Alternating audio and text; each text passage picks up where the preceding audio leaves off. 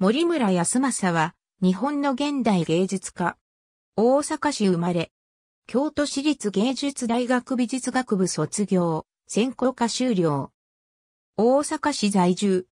1985年に、ゴッホの包帯をしてパイプを加えた自画像に扮する自身が扮したセルフポートレート写真、肖像、ゴッホを発表。初めて展覧会表が美術雑誌に乗り実質的なデビューを果たす。1989年には、ベニスビエンナーレ、アペルト88に選出され、国際的にもデビューを果たし、その後も一貫して自画像的作品をテーマに、セルフポートレートの手法で作品を作り続け、国内外で展覧会を開催している。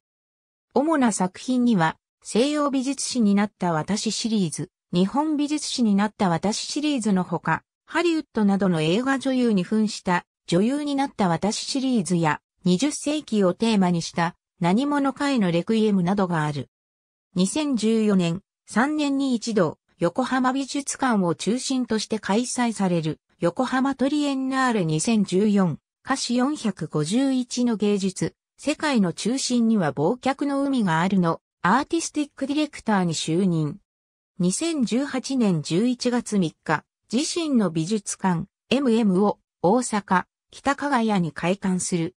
作品は国内外多数の美術館にパブリックコレクションされている。2006年、京都府文化功労賞、2007年度、芸術選奨文部科学大臣賞、2011年、第52回毎日芸術賞、日本邪神協会賞、第24回京都美術文化賞を受賞。2011年秋、紫綬褒章を受賞。大阪市天王寺草井九谷町生まれ。父は、緑茶賞。大阪市立、桃明小学校から大阪市立夕日が丘中学校を経て、大阪府立高津高等学校を卒業。1年間の浪人生活を経て、1971年、京都市立芸術大学美術学部工芸科デザインコースに入学。1975年に京都市立芸術大学を卒業した。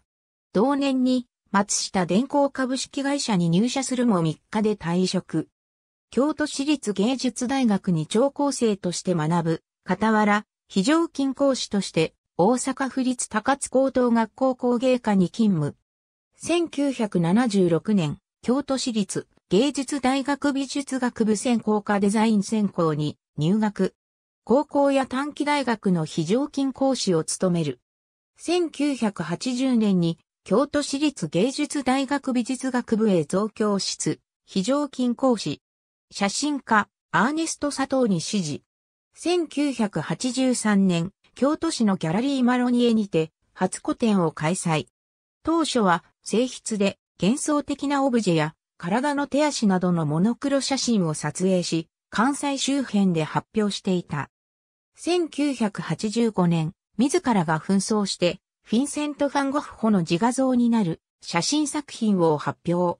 以後、自らがセットや衣装に入って西洋の名画を再現する写真で評価を受けた。1988年にベネツィア・ビエンナーレの若手グループ展アペルト部門1989年には全米を巡回した日本美術展、アゲンストネイチャーマイナス -80 年代の日本美術展に参加し、鮮烈な国際デビューを飾った。当初はシミュレーショニズムやアプロプリエーションなどとの関連、美術史と人種、ジェンダーとの関連、シンディ・シャーマンなど他のセリフポートレートを手法とする作家との比較で語られた。以後、日本各地や海外での個展やグループ展に多数参加している。2003年にオリベ賞を受賞。2007年に設立された大阪創造都市市民会議の発起人の一人である。2008年に平成19年度芸術選奨文部科学大臣賞を受賞した。2011年に第52回毎日芸術賞を受賞した。同年に紫綬褒章を受賞した。2012年12月に横浜トリエンナーレ2014のアーティスティックディレクターの就任が決定した。同年から開催された釜ヶ崎芸術大学で講師を務める。2018年11月3日、大阪市住之江区北加賀屋に、私設美術館、森村ミュージアムを開設。彼は、世によく知られた西洋の名画になりきるにあたって、絵の構成や背景のものなどに至るまで詳細なリサーチを重ねる。ライティングやフェイスペインティング、合成や CG なども利用して人物配置、色調、光の位置などまで再現する。マネ、オランピアただし、リサーチの過程で画家の文化的背景や絵に描かれた人物などを自分なりに解釈した結果、完全な再現でなく大胆な変更を加えることも多い。また、西洋絵画の中の人物に扮するにしても、森村自身が黄色人種で日本人で男性だという事実は変えることができない。例えば、エドゥアル・マニ作、オランピアを再現するにあたり、彼は白人の娼婦と黒人の召使いの二人の女性両方に変身したが、これは絵画の中の人種同士の主従関係を際立たせた。また、絵の中央に横たわり、男性の欲望の視線にさらされるはずの女性に扮することで、観客の視線を混乱させた。また、小道具の絹の敷物の代わりに、日本の着物、猫の代わりに招き猫を置くなどしている。これはわざと日本ローカルのものに置き換えることによる笑いを誘う側面もあるが、一方で、ローカルのものを普遍性のある名画の中のものと等価にしてしまうことにもつながる。また、着物と招き猫という組み合わせから、日本のステレオタイプである芸者への連想も可能である。彼は、このように、一枚の写真の中に、人種、民族、ジェンダーなどの問題、作家や美術に対する愛情、美術史の過去から現在に至る研究の積み重ね、画集などのコピーを通じてよく知っている作品のイメージに対する揺さぶりなどを提起している。また、世界的に知られたオリジナルの作品のイメージや、作品内の小道具を代用する大量生産のまがいものやローカルな産品を彼自身の肉体が入り込む一枚の写真に統合することで互いの距離をゼロにしてしまっている。オリジナルとそのコピーが混在して消費されている現在を表現している作家と言える。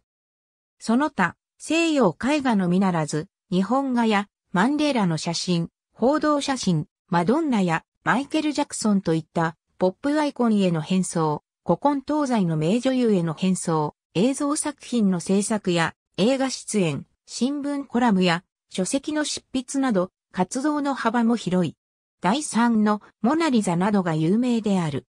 芸術新潮、2016年5月号掲載、フィンガーシュトロニ力4990年制作の作品。カラー写真4点組。タイトルに、ブシュカンの英語表記、フィンガーシュトロンに加え、野島とあるように、野島安蔵のブシュカンのコピーが1点目にある。残りは、ブシュカンの手のように見える部分を人間の手足の指にトランジションさせている3枚の写真で構成されている。マイフェイバリットとある美術の検索目録、所蔵作品からでは、両作品が対比されるように配置されている。2016年5月のオーダーメイド、それぞれの展覧会でも、両作品が対になって展示された。森村康政の作品を所蔵している美術館は以下の通りである。2018年11月3日に開設された森村ミュージアムを除き、施設によっては必ずしも常時展示されているわけではないが、常設展や企画展等で観覧することが可能である。他参考、小林康夫、竹畑哲、現代アート入門株式会社平凡社1998年独立行政法人国立美術館公式サイト内所蔵作品検索ありがとうございます。